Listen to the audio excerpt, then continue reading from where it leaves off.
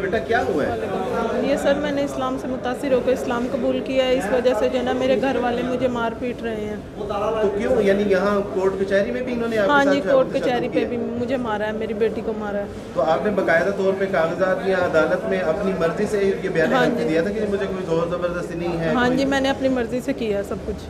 अच्छा हाँ तो अभी क्या ये चाहते क्या है कि इस्लाम से वापस आ जाएँगे आपको जान से मारना है? मुझे वो जान से मारने का कह रहे है?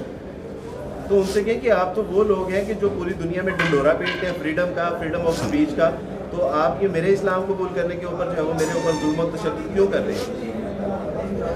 आपने किसी को आपको किसी ने कोई लालच दिया इस्लाम को नहीं किसी ने भी नहीं मैंने अपनी मर्ज़ी से किया है।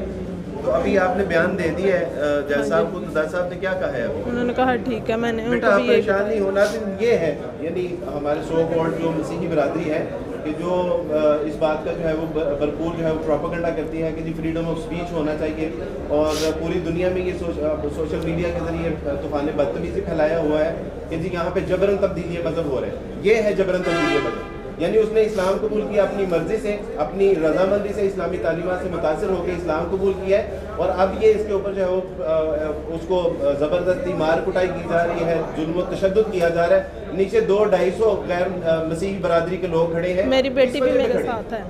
तो इनकी बच्ची के साथ भी जो है वो उन्होंने जो है वो मार कुटाई की है। ये इनकी ये इनकी शक्ल। और हमारे ऊपर इल्ज़ाम ये लगाया जाता है कि यहाँ पे जबरन तब्दीली मज़हब है। जबरन तब्दीली मज़हब नहीं है। बल्कि इस्लाम कबूल करने के बाद जो मसीहियों की तरफ़ से जबर और जुल्म और सितम किया जाता है, उसकी सूरत आपके सामने है। ये ज़रा घुमा के दिखाइए। यहाँ पे जो बाहर तमाम पुलिस वाले और नफरी और जो, ये ये सिर्फ़ पुलिस मसीही हजरात से इस बच्ची के प्रोटेक्शन के लिए सारे यहाँ पे जमा हुए हैं।